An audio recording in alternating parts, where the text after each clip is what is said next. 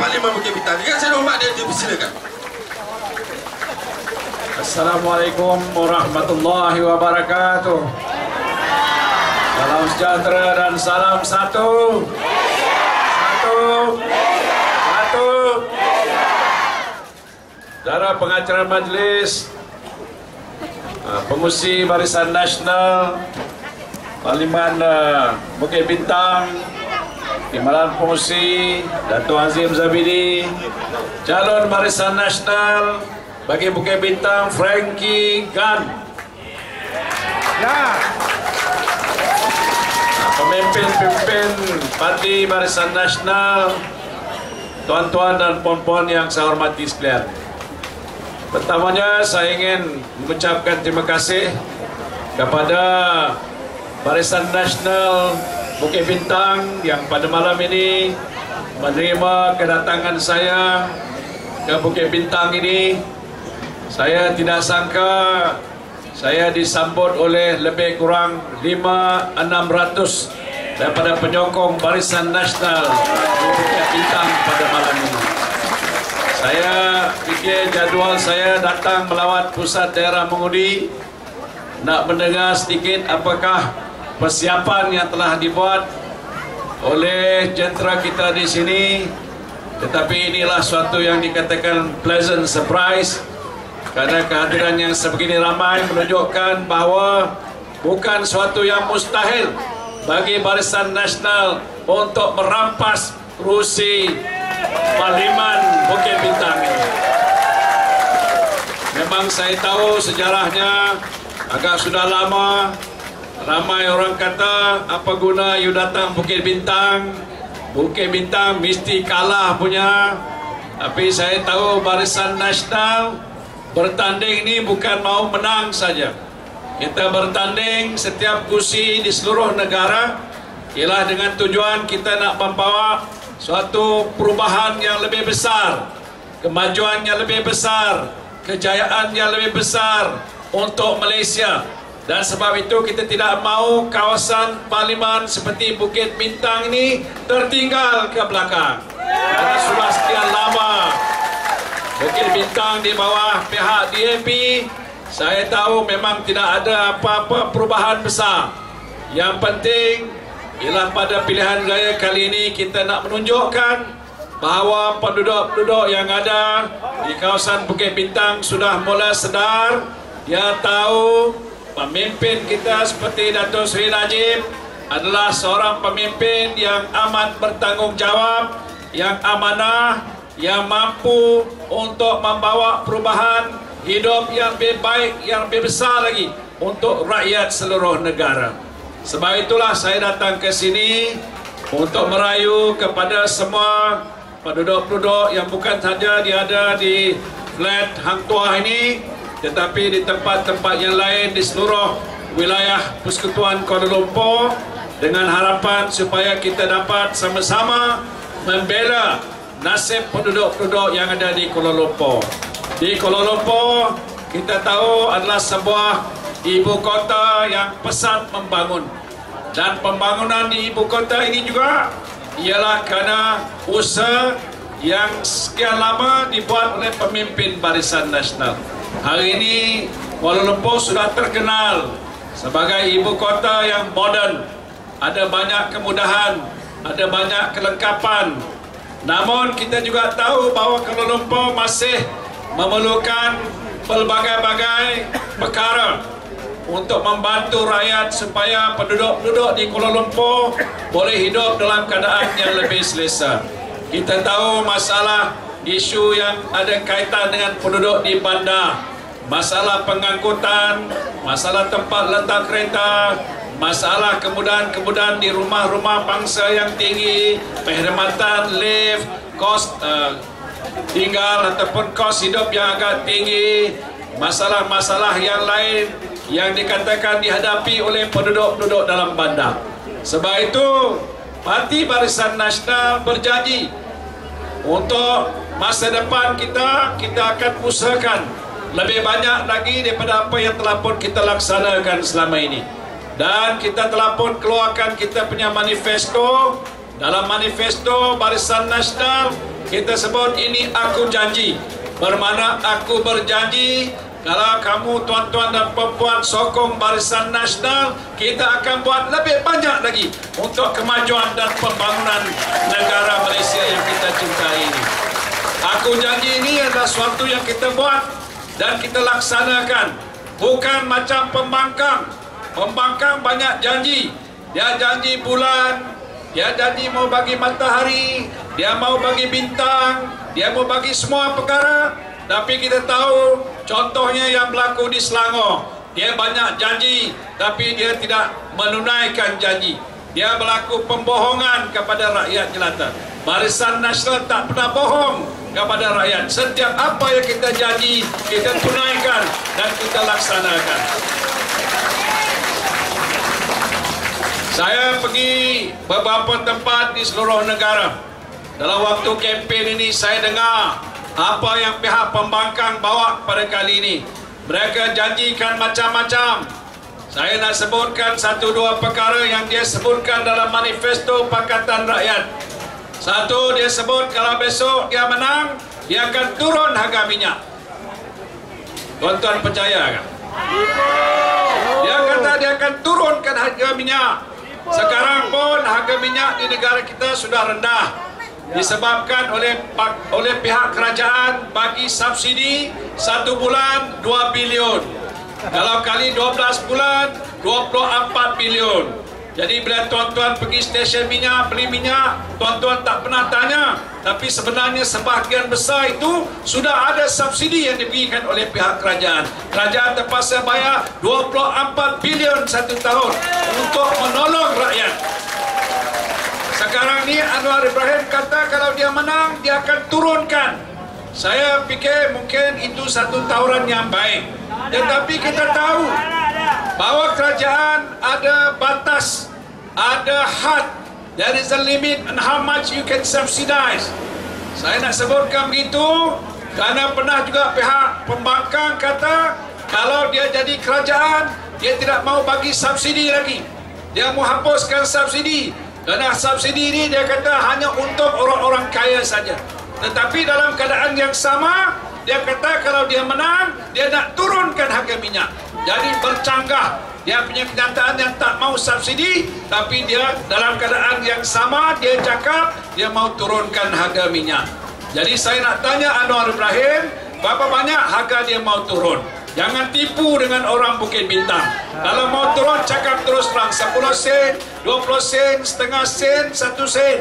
Ataupun mungkin dia kata oh tak boleh turun kerana harga minyak pun sudah turun. Atau dia kata tak boleh turun kerana kalau mau turun kerajaan Pakatan Rakyat kena bayar lagi banyak daripada 2 bilion satu bulan. Mungkin 3 bilion, mungkin 4 bilion. Kalau 4 bilion kali 12 bulan sudah 48 bilion lo. Silia lo. Pasal lo. Tak boleh. Pasal itu satu dia janji. Kalau kita dengar sama dia, oh bagus. Saya pun setuju turun harga lagi rendah lagi. Tapi dia janji lagi. Kalau dia menang, dia kata ini tol tak payah bayar. Betul tak dia cakap? Okey, tol tak payah bayar. Saya pun setuju kalau tol tak payah bayar. Tapi sekarang pun Barisan Nasional sudah kawal. Ini orang-orang jalankan tol, dia terpaksa pungut. Dia punya belanja besar. Dia belanja bilion. Kalau tak pungut tol, siapa mau jaga jalan? Jalan kita panjang beratus-ratus kilometer. Daripada Perlis turun sampai ke Johor Bahru banyak lagi lebuh raya.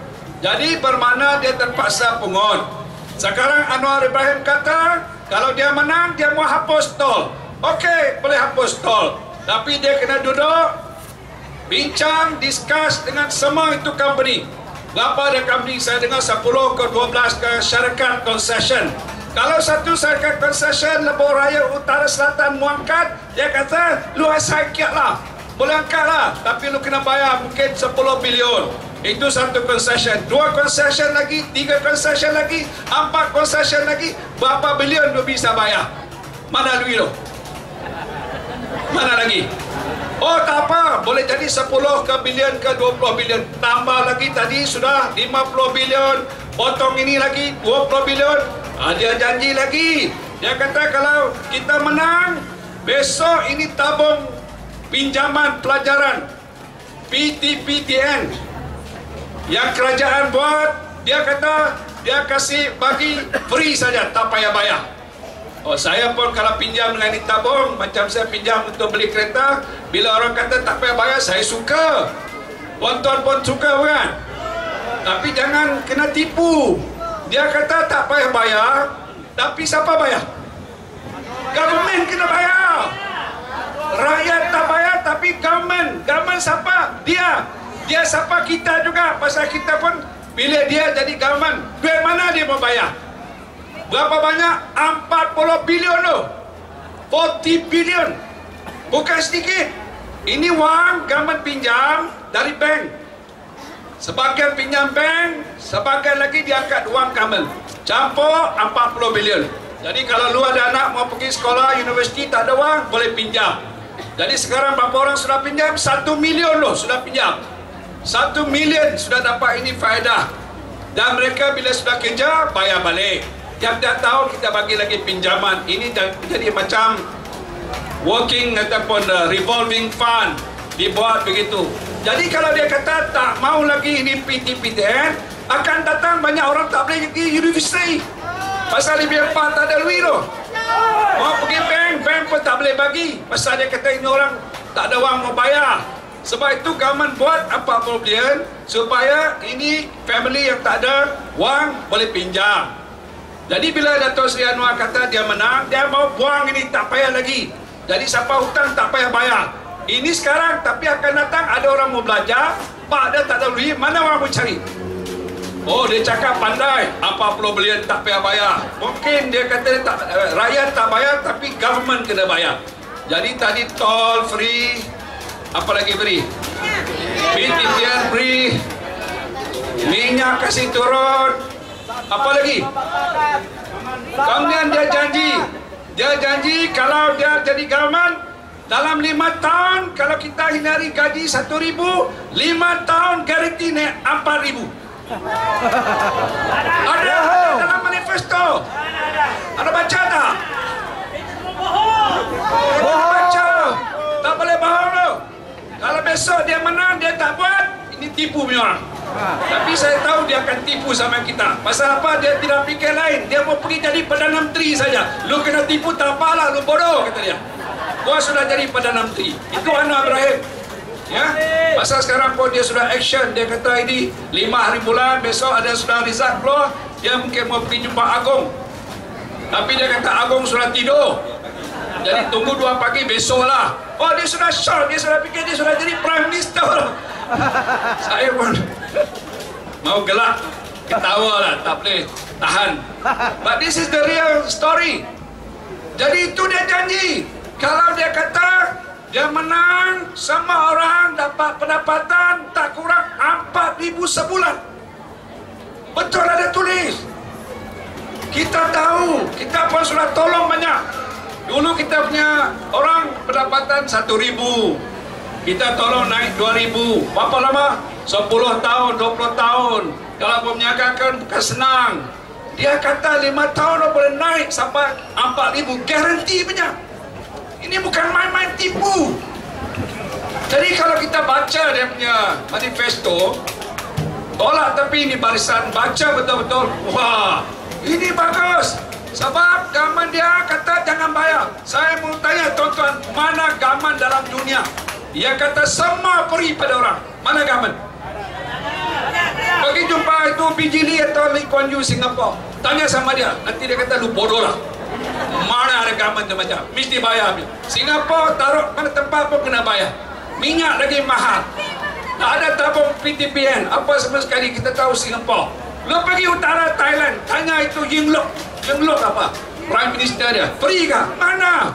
Pasal lo Silo. Tak boleh. Kena bayar. Lu pergi Amerika. Tanya pada Obama. Mr. President Can you give everything free in US?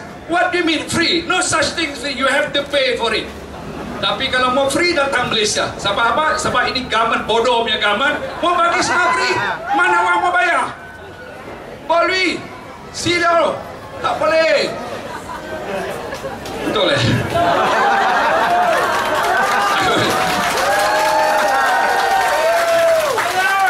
Saya kena beritahu sama orang Bukit Bintang. Jangan kena tipu dengan DAP. Betul dia tipu. Dia pergi Selangor dulu tahun 2008. Apa dia kata? Lu pilih sama gua.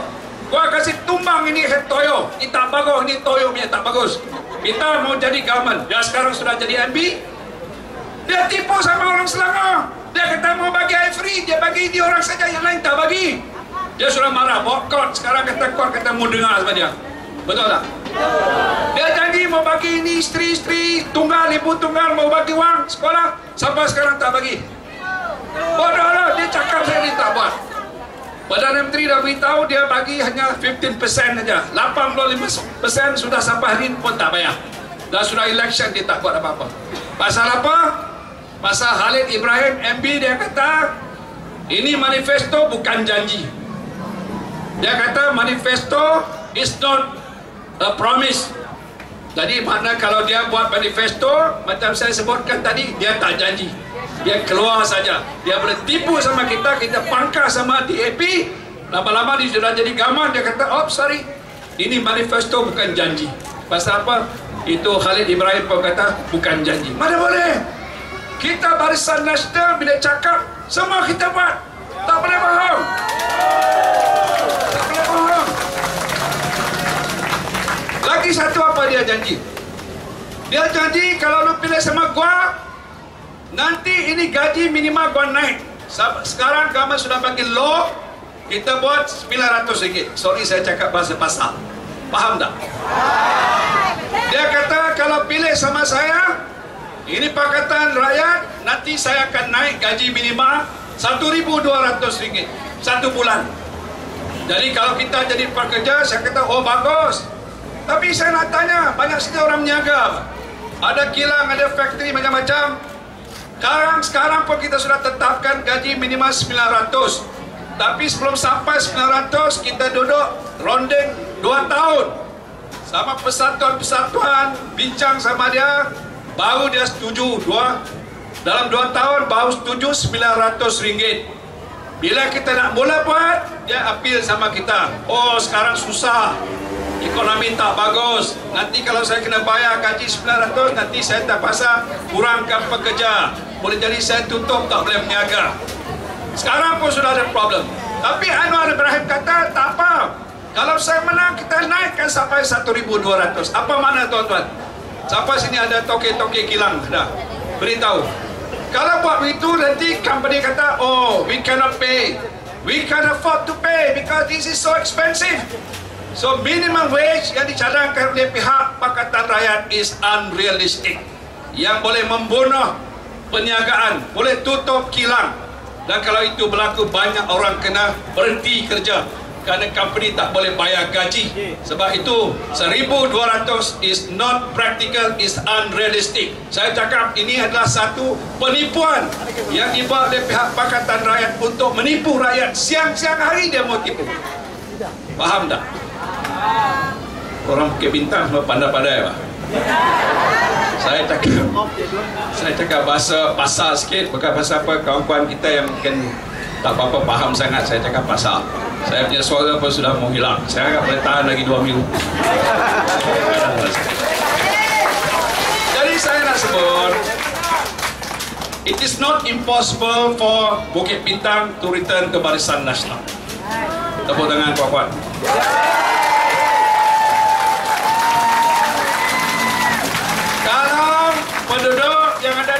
Bintang fikir baik-baik. Now dia kata, you pun guna ubah. Apa? Ubah Bukit Bintang jadi barisan. Dia pun gunakan slogan, ubah. Kali ini ajalah. Ubah. Ubah. Dia cakap, ubah. Saya nak tanya tuan-tuan, apa pasal ubah? Ini government Barisan Nasional sudah 56 tahun mau ubah. Dia kata mesti ubah pasal ini government sudah 56 tahun. 56 tahun sudah tua. Saya 66 tahun jadi muda. Tapi dia kata 56 tahun sudah tua. Sudah sudah lama. Mana tua? Tengok Najib dengan Anwar siapa muda, siapa tua? Dato Najib muda. Najib dengan Lim Kisiang Sabah Muda. Najib dengan Ni Aziz Sabah Sabah Muda. Ni Aziz sudah 80 tahun. Mau jadi MB lagi jalan pun sudah macam sawah. Jadi kita bukan parti tua, tetapi kita parti yang banyak pengalaman. Macam orang tua banyak pengalaman. Orang suka. Ada experience. Banyak pengalaman. Ini mau jaga negara Malaysia bukan main-main. Bukan biasa-biasa boleh jalan saja, tak boleh. Sebab itu kita sudah 55, 56 tahun kita belajar. Daripada dulu sikit, sikit, sikit, sikit sampai hari ini Malaysia sudah jadi ini macam. Dulu orang tak kenal, sekarang orang kenal. Menjaga dulu kecil, sekarang sudah besar. Dulu kita anak tak boleh pergi sekolah, sudah pergi sekolah. Dulu susah mau makan, sekarang sedang cari makan. Ini Malaysia hari ini. Sudah 56 tahun. Jadi dia kata kena tukar apa pasal mau tukar? Why? Dia kata sudah tua, dia lagi tua daripada kita apa? Sudah tua apa ni tak? Ingat dia sudah tua. Oh dia kata kita kena tukar, apa pasal mau tukar? Negara kita tak ada perang apa? Negara Malaysia tak ada orang perang. Negara Malaysia selamat. Tak ada gaduh. Dalam sini Melayu, Cina, India duduk depan, belakang, kiri, kanan. Tak ada takut. Betul tak? Ada. Perpaduan. Semua orang macam abang adik. Kalau ada jiran sakit, kita pergi tolong. Tak pernah tanya, lu Cina ke Melayu? Lu Cina kau tak mau tolong? Tak ada, tolong. Kalau kita punya ahli sukan pergi dunia Olimpik mana-mana menang badminton. Kita tak kata ini Chong Wei dia Melayu ke Cina tak ada. Dia Malaysia kita sokong. Anda Lela kita sokong. Michael David kita sokong. Apa lagi? Kita sokong semua. Di Malaysia saja. Lain negara dia macam-macam kaum dia gaduh. Kadang-kadang satu kaum pun dia gaduh. Saya pergi ini Syria tuan-tuan tahu mana Syria? Tahu tak ke mana ini Syria? Di mana? Ah, di luar negara iyalah. Anda yang menjawab. Syria di Middle East? Syria di Middle East dia punya capital namanya Damsyik atau Damascus. Dulu saya pergi sana waktu saya jadi Menteri Pertanian. Jumpa nama minister dia sign agreement memorandum. Mau tolong bantu sama sendirilah dalam agriculture. Pasal dia luangkan bahan makanan yang banyak. Self-sufficient. Tapi apa jadi sekarang? Dia sebab orang orang orang Syrian. Orang Arab, Syria. Sekarang gaduh. Saya waktu saya pergi sana sama aja cantik. Siapa sudah pergi Damascus? Dan tuan sudah pergi? Sudah pergi, masjid cantik, tempat perniagaan cantik, dia punya pasar cantik, dia jadi World Heritage. Saya pergi Damascus, saya pergi Aleppo. Aleppo is a World Heritage. Cantik. Kalau besok mau pergi lagi tak guna lagi, sudah hancur. Perang, bom. Dia gaduh sama sendiri. Dia satu kaum, tapi dia gaduh sama sendiri. Malaysia banyak kaum, tak ada gaduh pun.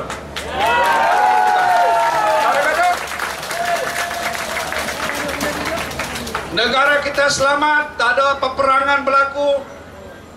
Baru-baru ini kita tahu apa berlaku di Lahad Datu. Kita tahu apa berlaku di Lahad Datu. Sepuluh orang perwira kita jatuh terkorban kerana mempertahankan Lahad Datu. Sebab itu kerajaan Barisan Nasional ambil tindakan cepat hantar tujuh batalion menjaga di kawasan.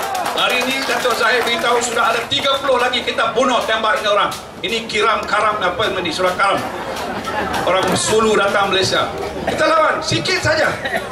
Tapi baru kita tahu kalau negara kita tidak selamat, apa yang berlaku di Lahad Datu tak boleh meniaga, tak boleh keluar cari makan, tak boleh buka kedai, tak boleh pergi kebun. Saya jumpa sama orang-orang di situ. Dia kata, oh, very difficult life. Baru satu bulan waktu itu. Sebab itu di Malaysia tak ada peperangan, tak ada pergaduhan, ada perpaduan ekonomi. Orang Cina saya tahu dia pentingkan ekonomi. Orang Melayu pun itu. Tapi orang Cina banyak berniaga. Sekarang stock market bagus. Ada growth. Ada pekerjaan banyak. Betul tak? Unemployment hanya lebih kurang 3%. 3% by definition is full employment. Kita boleh dapat pekerjaan banyak. Saya jadi chairman of Cabinet Committee on Foreign Workers. Tiap-tiap kali kita meeting, mesti minister bawa. Dia kata meminta ambil ini orang daripada Bangladesh, daripada negara India, daripada negara Pakistan, banyak tempat lain nak bawa ke Malaysia kerana banyak factory, banyak kilang, mau bekerja, tak ada orang mau bekerja, tak cukup bekerja. Malaysia has got abundance of opportunities, abundance of employment opportunity. Dalam masa lima tahun akan datang, 3.3 million job yang kita created. Apa masa mau tukar? Okey. Apa masa mau tukar?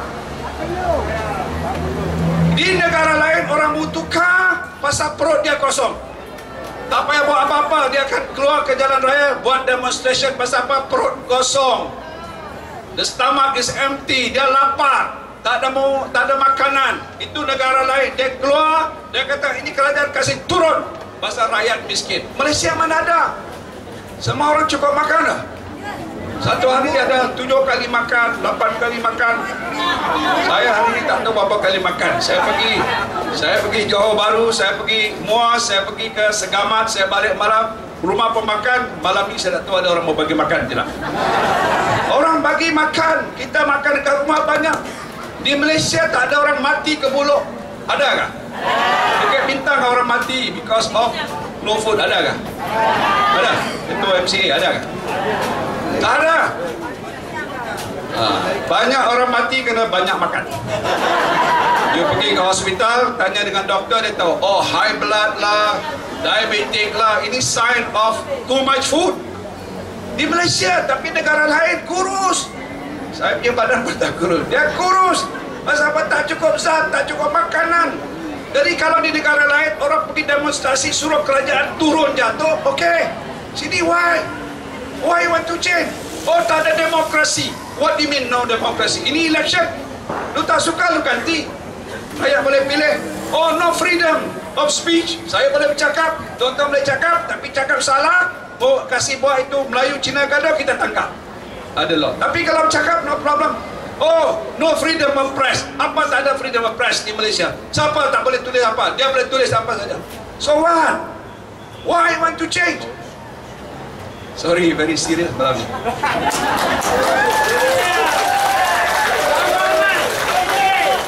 Pasal pilihan raya is a serious matter. Ini bukan pesta. This is to, to, determine your government for the next five years. You must know what this guy is saying, what Anwar is saying, what Kik is saying, what Muhyiddin is saying, what Najib is saying, what are their pledges to help the people. Yang mana fikir yang paling baik? Itu kita mau pilih. Ini sebab pilihan raya ini penting. Bukan boleh tidur-tidur bangun besok pakar saja. Tak boleh. Mesti fikir baik-baik. So jadi saya serius sikit menjelaskan. Supaya kita jangan terperangkap dengan pihak parti pembangkang. Jadi balik semula kepada Frankie, you have done a lot of work. Very good guy, hard working. Dia buat dia punya video, dia ada karaoke, dia sudah nyanyi, sudah nyanyi belum?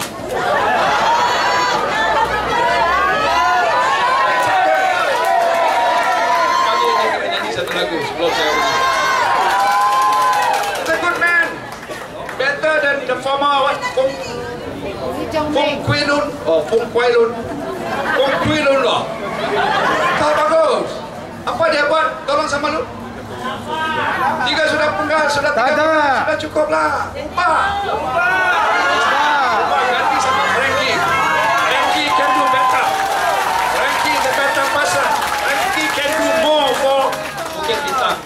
Jadi saya cukup berhenti dekat situ nanti kita cakap nanti suara saya tak keluar lagi saya kena reserve lagi dekat 10 hari ke beberapa hari campaign jadi saya harap saya punya suara boleh last for another 10 days or so jadi saya ucap terima kasih sekali ini sekali lagi saya harap tuan-tuan akan terus bagi sokongan kepada Frankie supaya beliau menang dari ahliman Bukit Bintang ahli parlimen Bukit Bintang.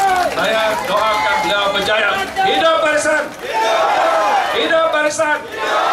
Hidup barisan. Terima kasih.